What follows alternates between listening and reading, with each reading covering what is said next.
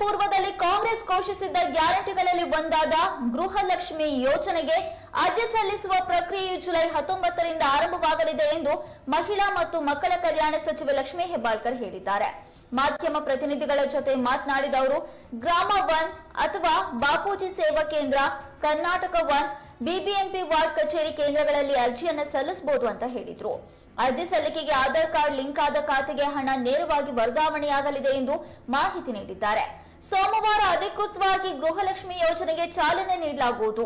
ಯೋಜನೆ ಉದ್ಘಾಟಿಸಲು ಕೇಂದ್ರ ಕಾಂಗ್ರೆಸ್ ನಾಯಕರಿಗೆ ಆಹ್ವಾನ ನೀಡಲಾಗಿದೆ. ನಾಯಕರು ಒಪ್ಪಿಗೆ ಕೊಟ್ಟರೆ ಆಗಸ್ಟ್ ಹದಿನೇಳರಂದೇ ಖಾತೆಗೆ ಹಣ ವರ್ಗಾವಣೆಯಾಗಲಿದೆ. ಇಲ್ಲದಿದ್ರೆ ಆಗಸ್ಟ್ ಹತ್ತೊಂಬತ್ತಕ್ಕೆ ಹಣ ಜಮೆಯಾಗಲಿದೆ ಎಂದು ಹೇಳಿದ್ರು. ಗೃಹಲಕ್ಷ್ಮಿ ಯೋಜನೆಯನ್ನ ರಾಷ್ಟ್ರೀಯ ನಾಯಕರಿಂದ ಚಾಲನೆ ನೀಡಲಾಗುವುದು. ರಾಷ್ಟ್ರೀಯ ನಾಯಕರಿಗೆ ಈಗಾಗಲೇ ಪತ್ರ ಬರೆಯಲಾಗಿದೆ. ನಾಯಕರು ಒಪ್ಪಿಕೊಂಡ್ರೆ ಹದಿನೇಳರಂದು ವಿಧಾನಸೌಧದ ಬ್ಯಾಂಕ್ವೆಟ್ನ ಹಾಲ್ನಲ್ಲಿ ಉದ್ಘಾಟನೆ ಮಾಡಲಾಗುವುದು ಎಂದರು.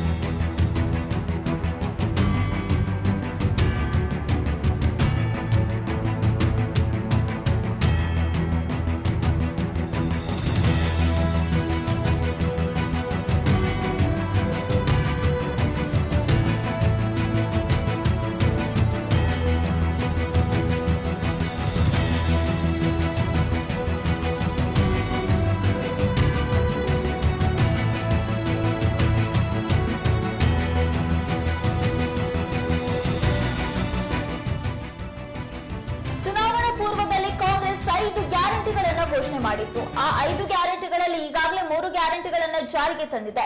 ಈಗ ನಾಲ್ಕನೇ ಗ್ಯಾರಂಟಿಗೂ ಕೂಡ ಮುಹೂರ್ತ ಫಿಕ್ಸ್ ಆಗಿದೆ. ಮಹತ್ವದ ಯೋಜನೆಯಾಗಿರುವ ಗೃಹಲಕ್ಷ್ಮಿ ಯೋಜನೆಯಿಂದ ಮಹಿಳೆಯರಿಗೆ ಬಹಳ ಅನುಕೂಲವಾಗಲಿದೆ. ಪ್ರತಿ ತಿಂಗಳು ಮಾಸಿಕ ಎರಡು ಸಾವಿರ ರೂಪಾಯಿ ಹಣ ಮಹಿಳೆಯರ ಖಾತೆಗೆ ಜಮೆಯಾಗುತ್ತೆ. ಈ ಹಿಂದೆ ಕಾಂಗ್ರೆಸ್ ಸರ್ಕಾರ ಈ ಭರವಸೆಯನ್ನ ನೀಡಿತ್ತು ಆ ಭರವಸೆಯನ್ನ ಈಡೇರಿಸುವುದಕ್ಕೆ ಜುಲೈ ಹತ್ತೊಂಬತ್ತಕ್ಕೆ ಮುಹೂರ್ತವನ್ನ ಫಿಕ್ಸ್ ಮಾಡಿದೆ ಕಾಂಗ್ರೆಸ್ ಸರ್ಕಾರ. ಈ ಕುರಿತು ಮಹಿಳಾ ಮತ್ತು ಮಕ್ಕಳ ಕಲ್ಯಾಣ ಸಚಿವೆ ಲಕ್ಷ್ಮಿ ಹೆಬ್ಬಾಳ್ಕರ್ ಅವರು ಬೆಂಗಳೂರಿನಲ್ಲಿ ಮಾಧ್ಯಮಗೋಷ್ಠಿ ನಡೆಸಿ ಮಾಹಿತಿಯನ್ನ ನೀಡಿದ್ರು. ಈ ಹಿಂದೆ ಹಲವಾರು ಬಾರಿ ದಿನಾಂಕಗಳನ್ನ ಮುಂದೂಡಲಾಗಿತ್ತು.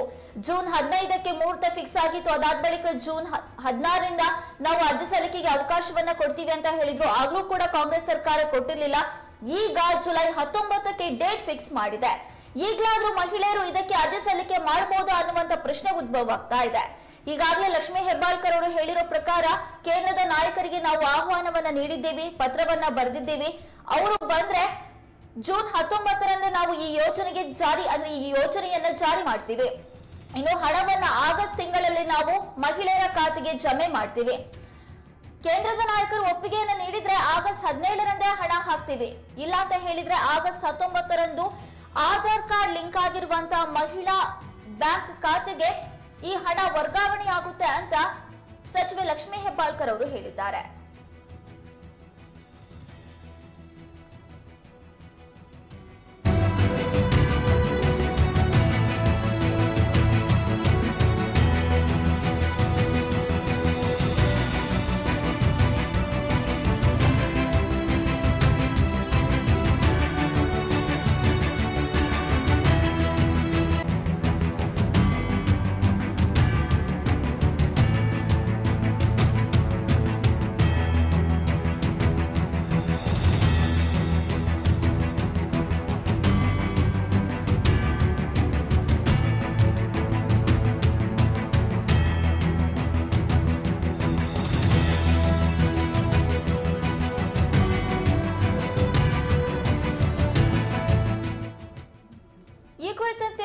ಮಾಹಿತಿಯನ್ನ ನೀಡೋದಕ್ಕೆ ನಮ್ಮ ವಾಹಿನಿಯ ಪ್ರಧಾನ ಸಂಪಾದಕರಾದ ಹೊನ್ನಾಳಿ ಚಂದ್ರಶೇಖರ್ ಅವರು ನಮ್ಮೊಂದಿಗೆ ದೂರವಾಣಿ ಸಂಪರ್ಕದಲ್ಲಿದ್ದಾರೆ. ಹೊನ್ನಾಳಿ ಚಂದ್ರಶೇಖರ್ ಅವರೇ ಕಾಂಗ್ರೆಸ್ ಸರ್ಕಾರದ ನಾಲ್ಕನೇ ಗ್ಯಾರಂಟಿಗೆ ಮುಹೂರ್ತ ಫಿಕ್ಸ್ ಆಗಿದೆ. ಗೃಹಲಕ್ಷ್ಮಿ ಯೋಜನೆಗೆ ಜುಲೈ ಹತ್ತೊಂಬತ್ತರಿಂದ ಅರ್ಜಿ ಸಲ್ಲಿಕೆ ಮಾಡೋದಕ್ಕೆ ಅವಕಾಶ ಕೊಡ್ತೀವಿ ಅಂತ ಕಾಂಗ್ರೆಸ್ ಹೇಳ್ತಾ ಇದೆ. ಏನಿದೆ ಈ ಬಗ್ಗೆ ಮಾಹಿತಿ? ನಯನ ಕಾಂಗ್ರೆಸ್ ಸರ್ಕಾರದ ಮಹತ್ವಾಕಾಂಕ್ಷಿ ಯೋಜನೆ, ಗೃಹಲಕ್ಷ್ಮಿ ಯೋಜನೆಯು ಸಹ ಅನುಷ್ಠಾನ ಆಗ್ಲಿಕ್ಕೆ ಈಗ ಕಾಲ ಕೂಡಿ ಬಂದಿದೆ. ಮಹಿಳಾ ಮತ್ತು ಮಕ್ಕಳ ಕಲ್ಯಾಣ ಸಚಿವೆ ಲಕ್ಷ್ಮೀ ಹೆಬ್ಬಾಳ್ಕರ್ ಅವರು ವಿಧಾನಸೌಧದಲ್ಲಿ ಪತ್ರಿಕಾಗೋಷ್ಠಿಯನ್ನು ಮಾಡಿ ಈ ಬಗ್ಗೆ ಅಧಿಕೃತವಾಗಿ ಪ್ರಕಟಣೆಯನ್ನು ಕೊಟ್ಟಿದ್ದಾರೆ. ಅಂದ್ರೆ ಈಗ ಮಹಿಳೆಯರು ಗೃಹಲಕ್ಷ್ಮಿ ಯೋಜನೆಗಾಗಿ ಅರ್ಜಿ ಸಲ್ಲಿಸಬಹುದು. ಆದ್ರೆ ಒಂದೆರಡು ಕಂಡೀಷನ್ಗಳಿದೆ. ಯಾರು ಟ್ಯಾಕ್ಸ್ ಪೇಯರ್ಸ್ ಇದಾರೆ, ಅವರು ಅರ್ಜಿನ ಸಲ್ಲಿಸಲಿಕ್ಕೆ ಅವಕಾಶ ಇಲ್ಲ. ಅವರನ್ನ ಹೊರತುಪಡಿಸಿ ಕರ್ನಾಟಕದಲ್ಲಿ ಸರಿಸುಮಾರು ಒಂದು ಕಾಲು ಕೋಟಿ ಕುಟುಂಬಗಳನ್ನ ಐಡೆಂಟಿಫೈ ಮಾಡಲಾಗಿದೆ ಮಹಿಳೆಯರನ್ನ.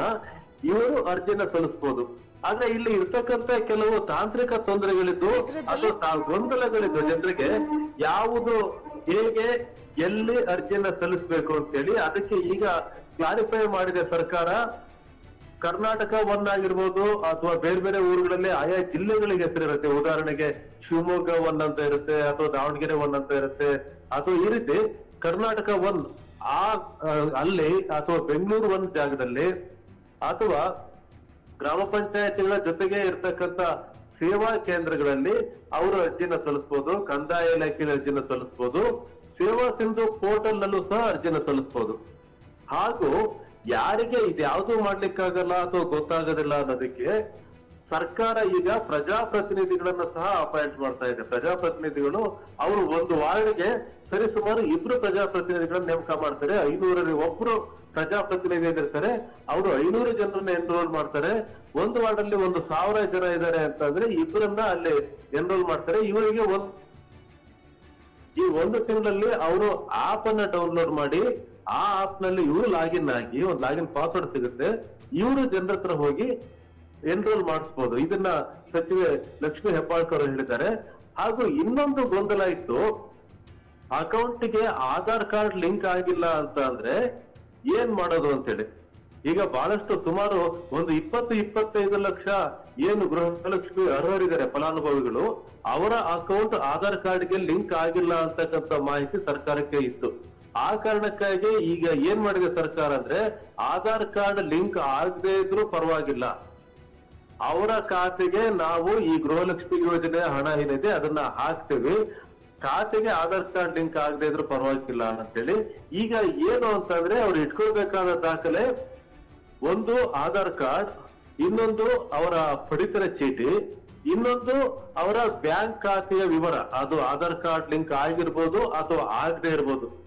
ಈ ಮೂರು ದಾಖಲೆಗಳು ಜೊತೆಗೆ ಅವರ ವೈಯಕ್ತಿಕ ಒಂದು ಗುರುತು ಪತ್ರ ಈ ನಾಲ್ಕು ದಾಖಲೆಗಳನ್ನ ತೆಗೆದುಕೊಂಡು ಅವರು ಯಾವುದೇ ಈ ಕೇಂದ್ರಗಳಿಗೆ ಹೋದ್ರು ಸಹ ಎನ್ರೋಲ್ ಆಗುತ್ತೆ. ಅಥವಾ ಅವರೇ ಸ್ವತಃ ಸೇವಾ ಸಿಂಧುನಲ್ಲಿ ಅವರು ಅಪ್ಲೋಡ್ ಮಾಡಬಹುದು ಹತ್ತೊಂಬತ್ತನೇ ತಾರೀಕಿಂದ. ಅಥವಾ ಯಾರು ಪ್ರಜಾಪ್ರತಿನಿಧಿಗಳು ಬರ್ತಾರೆ ಅವರ ಮನೆಗೆ, ಅವರ ಮೂಲಕವಾದ್ರೂ ಅಪ್ಲೋಡ್ ಮಾಡಬಹುದು ಹಾಗಾಗಿ ಎಲ್ಲಾ ಸಿದ್ಧತೆ ಆಗಿದೆ. ಗೃಹಲಕ್ಷ್ಮಿಯರಿಗೆ ಎರಡು ಸಾವಿರ ರೂಪಾಯಿನ ಕೊಡ್ಬೇಕು ಕೊಡಬೇಕು ಅಂತ ಪ್ರತಿ ತಿಂಗಳು ಏನಿದೆ ಅದಕ್ಕೆ ಈಗ ಅವಕಾಶ ಸಿದ್ಧವಾಗಿದೆ. ಮತ್ತೆ ಇನ್ನೊಂದು ಮುಖ್ಯವಾದ ಅಂಶ ಲಾಸ್ಟ್ ಡೇಟ್ ಅಂತ ಇಲ್ಲ, ಅರ್ಜಿಯನ್ನು ಹಾಕ್ಲಿಕ್ಕೆ ಕೊನೆ ದಿನಾಂಕ ಅಂತ ಇಲ್ಲ. ಇದು ಒಂದು ನಿರಂತರವಾಗಿ ಚಾಲ್ತಿಯಲ್ಲಿರ್ತಕ್ಕಂಥ ಯೋಜನೆ. ಯಾವತ್ತು ಬೇಕಾದರೂ ಅವರು ಅರ್ಜಿಯನ್ನ ಸಲ್ಲಿಸಬಹುದು ಲಾಸ್ಟ್ ಡೇಟ್ ಅಂತ ಇಲ್ಲ ಅಂತ ಹೇಳಿ ಸಚಿವರು ತುಂಬಾ ಸ್ಪಷ್ಟವಾಗಿ ಹೇಳಿದ್ದಾರೆ. ಇನ್ನು ಹದಿನೇಳನೇ ತಾರೀಕು ಇದು ಮಾಡಬೇಕು ಅಂತ ಇದೆ. ಸಚಿವರಿಗೆ ನಿರೀಕ್ಷೆ ಇದೆ. ರಾಷ್ಟ್ರೀಯ ನಾಯಕರೊಬ್ರು ಬರ್ತಾರೆ, ಅವರಿಂದ ಉದ್ಘಾಟನೆ ಮಾಡಬೇಕು ಅಂತ ಹೇಳಿ ಗೃಹಲಕ್ಷ್ಮಿ ಯೋಜನೆಯನ್ನ ಪ್ರಿಯಾಂಕಾ ಗಾಂಧಿ ಅವರು ಚುನಾವಣಾ ಸಂದರ್ಭದಲ್ಲಿ ಘೋಷಣೆಯನ್ನ ಮಾಡಿದ್ರು. ಈಗ ಆ ಯೋಜನೆಯನ್ನ ಉದ್ಘಾಟನೆ ಮಾಡ್ಲಿಕ್ಕೆ ಹದಿನೇಳನೇ ತಾರೀಕು ದಿನಾಂಕವನ್ನು ನಿಗದಿ ಮಾಡಿದ್ರೆ ರಾಷ್ಟ್ರೀಯ ನಾಯಕರು ಬರ್ತಾರೆ ಅನ್ನೋ ಕಾರಣಕ್ಕೆ. ಅವರು ಬರ್ಲಿಲ್ಲ ಅಂತ ಅಂದ್ರೆ ಹತ್ತೊಂಬತ್ತನೇ ತಾರೀಕು ಸಿದ್ದರಾಮಯ್ಯ ಅವರೇ ಚಾಲನೆ ಕೊಡ್ತಾರೆ. ಅವರ ಮನಸ್ಸಲ್ಲೇ ಬಹುಶಃ ಪ್ರಿಯಾಂಕಾ ಗಾಂಧಿ ಅವರೇ ಬರ್ತಾರೆ, ಅವರೇ ಬರ್ಲಿ ಅಂತ ಇದೆಯಲ್ಲ. ಆದ್ರೆ ಸಚಿವರು ಅದನ್ನ ಸ್ಪಷ್ಟವಾಗಿ ಹೇಳಿಲ್ಲ, ಯಾರು ಬರ್ತಾರೆ ಅಂತ ಹೇಳಿ ಇನ್ನೂ ಖಚಿತವಾಗಿಲ್ಲ ಖಚಿತವಾದ್ಮೇಲೆ ಹೇಳ್ತೀವಿ ಅಂತ ಹೇಳಿದರೆ, ಆದ್ರೆ ಕಾರ್ಯಕ್ರಮ ಮಾತ್ರ ವಿಧಾನಸೌಧದ ಬ್ಯಾಂಕ್ವೆಟ್ ಹಾಲ್ನಲ್ಲಿ ನಡೆಯುತ್ತೆ. ಹಾಗಾಗಿ ಗೃಹಲಕ್ಷ್ಮಿ ಯೋಜನೆಯನ್ನ ಜಾರಿ ಮಾಡ್ಲಿಕ್ಕೆ ಈಗ ಸರ್ಕಾರ ಸಂಪೂರ್ಣವಾಗಿ ಸಜ್ಜಾಗಿದೆ. ಹಾಗೂ ಈ ಅರ್ಜಿ ಸಲ್ಲಿಕೆಯ ನೂಕು ನುಗ್ಗಲನ್ನ ತಪ್ಪಿಸಲಿಕ್ಕಾಗಿ ಬೇರೆ ಬೇರೆ ಹಲವು ಮಾರ್ಗಗಳಲ್ಲಿ ಅರ್ಜಿ ಸಲ್ಲಿಕೆಗೆ ಅವಕಾಶವನ್ನು ಸಹ ಮಾಡಿಕೊಡಲಾಗಿದೆ ನಯನ. ಓಕೆ, ಈ ಹಿಂದೆ ಕೂಡ ಕಾಂಗ್ರೆಸ್ ಸರ್ಕಾರ ಹಲವಾರು ಬಾರಿ ದಿನಾಂಕವನ್ನ ಘೋಷಣೆ ಮಾಡಿತ್ತು, ಆದ್ರೆ ಅವತ್ತಿನ ದಿನ ಅರ್ಜಿ ಸಲ್ಲಿಕೆ ಮಾಡೋದಕ್ಕೆ ಸಾಧ್ಯವಿಲ್ಲ ಅನ್ನುವಂತ ಮಾತನ್ನ ಕೂಡ ಹೇಳಿತ್ತು. ಈಗ ಮುಂದಿನ ಬಾರಿ ಅಂದ್ರೆ ಜುಲೈ ಹತ್ತೊಂಬತ್ತರು ಕೂಡ ಇದೇ ರೀತಿ ಆಗುವಂತ ಸಾಧ್ಯತೆ ಏನಾದ್ರೂ ಇದೆಯಾ? ಈ ಗೃಹಲಕ್ಷ್ಮಿ ಯೋಜನೆಯನ್ನ ಘೋಷಣೆ ಮಾಡ್ಲಿಕ್ಕೆ ಹಿಂದೆ ಸಚಿವರೇ ಹೇಳಿದಾಗೆ ಒಂದು ಸಣ್ಣ ತೊಡಕಿತ್ತು ಅಷ್ಟೇ ಜನರಿಗೆ ಎನ್ರೋಲ್ ಮಾಡ್ಲಿಕ್ಕೆ ವ್ಯವಸ್ಥೆಯನ್ನ ಮಾಡ್ಕೊಂಡ್ರೆ ಅವರು ಈಗೇನು ತಾಲೂಕು ಆಫೀಸ್ಗಳಲ್ಲಿ ಮತ್ತೆ ಶಿವಮೊಗ್ಗ ಒನ್ ಅಥವಾ ದಾವಣಗೆರೆ ಒನ್ ಅಥವಾ ಮೈಸೂರು ಒನ್ ಬೆಂಗಳೂರು ಒನ್ ಇಲ್ಲಿ ನೂಕ್ ಅಂತ ಹೇಳಿ ಒಂದು ಆಪ್ ಸಿದ್ಧ ಮಾಡ್ತಾ ಇದ್ರು. ಪ್ರಜಾಪ್ರತಿನಿಧಿ ಅಂತೇಳಿ. ಈ ಆಪ್ನಲ್ಲಿ ಅವರ ಫಲಾನುಭವಿಯ ಹೆಸರು, ಬ್ಯಾಂಕ್ ಖಾತೆ ವಿವರ, ಆಧಾರ್ ಸಂಖ್ಯೆ ಹಾಗೂ ವಿಳಾಸ, ಈ ಫೋನ್ ನಂಬರ್ ಈ ತರದ ವಿವರಗಳನ್ನ ಮೆನ್ಷನ್ ಮಾಡಿದ್ರೆ ಸಾಕು. ಆಮೇಲೆ ಇದ್ಯಾವ್ದು ಡೂಪ್ಲಿಕೇಟ್ ಆಗದಂಗೆ ನೋಡ್ಕೋಬೇಕಿತ್ತು. ಈಗ ಒಬ್ಬನೇ ವ್ಯಕ್ತಿಯ ಹೆಸರಲ್ಲಿ ಒಬ್ಬ ಮಹಿಳೆಯ ಹೆಸರಲ್ಲಿ ಎರಡು ಮೂರು ಖಾತೆ ಇರಬಹುದು. ಇವರು ಒಬ್ಬರೇ ಮಹಿಳೆ ಬೇರೆ ಬೇರೆ ಪ್ಲಾಟ್ಫಾರ್ಮ್ಗಳಲ್ಲಿ ಅವರ ಹೆಸರನ್ನು ನೋಂದಾಯಿಸಿದ್ರೆ ಅದನ್ನ ಕೌಂಟರ್ ಚೆಕ್ ಮಾಡೋದು ಹೇಗೆ ಅಂತಕ್ಕಂತ ಒಂದು ವ್ಯವಸ್ಥೆನ ಸಿದ್ಧಪಡಿಸಬೇಕಾಗಿತ್ತು. ಅದಕ್ಕೆ ಆಪ್ ಡೆವಲಪ್ ಆಗೋದು ತಡ ಆಗಿತ್ತು. ಈಗ ಏನಾಗಿದೆ ಅಂದ್ರೆ ಅವರ ರೇಷನ್ ಕಾರ್ಡ್ ಯಾವ ನಂಬರ್ಗೆ ಲಿಂಕ್ ಆಗಿದೆಯೋ ಅವರ ಬ್ಯಾಂಕ್ ಅಕೌಂಟ್ ಅದೇ ಫೋನ್ ನಂಬರ್ಗೆ ಲಿಂಕ್ ತಕ್ಷಣ ಓಕೆ ಆಗುತ್ತೆ. ಆಪ್ ಮೂಲಕವೂ ಸಹ ಎಂಟ್ರಿ ಮಾಡಬಹುದು ಈ ಆಪ್ ಅನ್ನ ಡೆವಲಪ್ ಮಾಡಬೇಕು, ಅದಿನ್ನು ಕನ್ಸ್ಟ್ರಕ್ಷನ್ ಆಗ್ತಾ ಇದೆ, ಇನ್ನು ತಯಾರಾಗ್ತಾ ಇದೆ.